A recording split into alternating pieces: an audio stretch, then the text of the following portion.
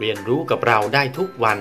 ทางช่องสนุกเรียนรู้ เพียงกดติดตาม กดไลค์ กดแชร์ เท่านี้ท่านก็จะไม่พลาดการเรียนรู้ดีๆ ในคลิปต่อไปแล้วล่ะครับ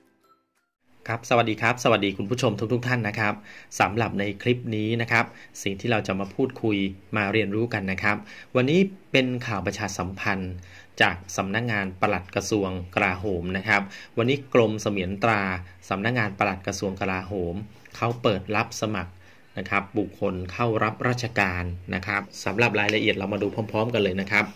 วันนี้เขาเปิดรับสมัครสอบบุคคลเข้ารับราชการ และเป็นพนักงานราชการจำนวน 54 อัตรานะครับ โดยเขาจะรับสมัครทางอินเทอร์เน็ต ตั้งแต่วันที่ 9 เมษายน ไปจนถึงวันที่ 3 พฤษภาคม 62 นะครับสำหรับตำแหน่งที่เขารับสมัครเนี่ยนะครับ 1. นายทหารชั้นสัญญาบัตร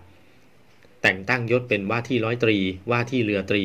ว่าที่เรืออากาศตรีจำนวน 13 อัตรานะครับ สองนายทหารประทวนตั้งแต่ยศ10ตรี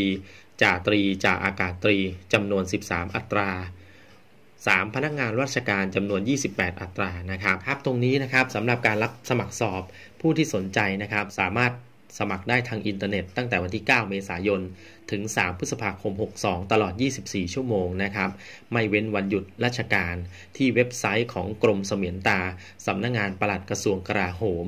นะครับสำหรับรายละเอียดเพิ่มเติมอื่น ๆ นะครับ ท่านสามารถโทรไปสอบถามข้อมูลเพิ่มเติมก็ได้นะครับ ที่เบอร์โทร 02-2261-397 หรือจะเข้าไปดูรายละเอียดเพิ่มเติมที่เว็บไซต์ของกรมเสมียนตรา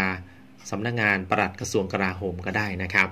ครับสำหรับตรงนี้นะครับก็ถือว่าเป็นประโยชน์สำหรับทุกๆทท่านพอสมควรนะครับ หลายๆ ท่านอาจจะมองหางานอยู่ หรือท่านที่มีบุตรหลาน